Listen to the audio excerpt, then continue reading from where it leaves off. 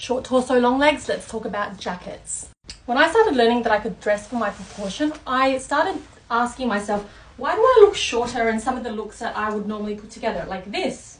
Then I started playing with long jackets, like this one from two and a half years ago, and this one from a year and a half ago, and this one from about three years ago,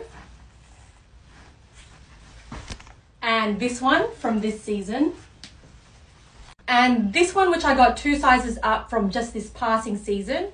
I got it two sizes up so I could turn it into a dress. I'll show you in another post. And this one, which I got this season, it's a double-breasted oversize.